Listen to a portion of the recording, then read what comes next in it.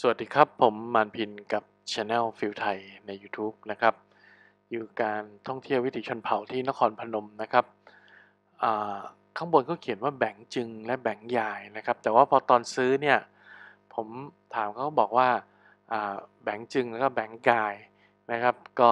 ตัวกอกับตัวยอเนี่ยมันขึ้นอยู่กับภาษาถิ่นของ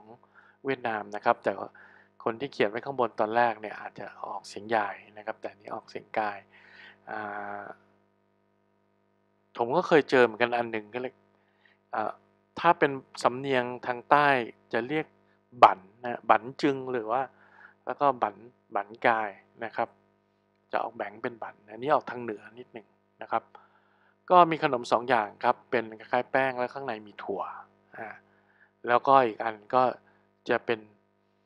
จะคล้ายๆเหมือนกันแต่จะออกคาวมากกว่าครับแบงจึงนี่จะออกแบบ คาวบางที เหมือนก็ใส่หมูด้วยนะนี่ครับก็มีมาสองห่อนะครับ ก็มาแกะชมดูกันครับ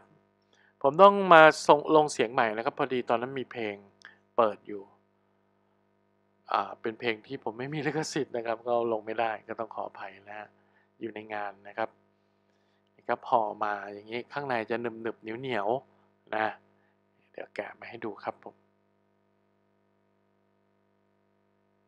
นี่ครับหน้าตามันเป็นอย่างเงี้ยนะครับ ถ้าของเวียดแผ่นใหญ่ ๆ เลย อันนี้คล้าย ๆ เป็นถั่วนะครับ แต่ว่ารสจะออกแบบเค็มๆหน่อยนะส่วนอันนี้จะเป็นแป้งสีค้ำๆเป็นถั่วเหมือนกัน แต่ว่ารสจะออกหวานครับผม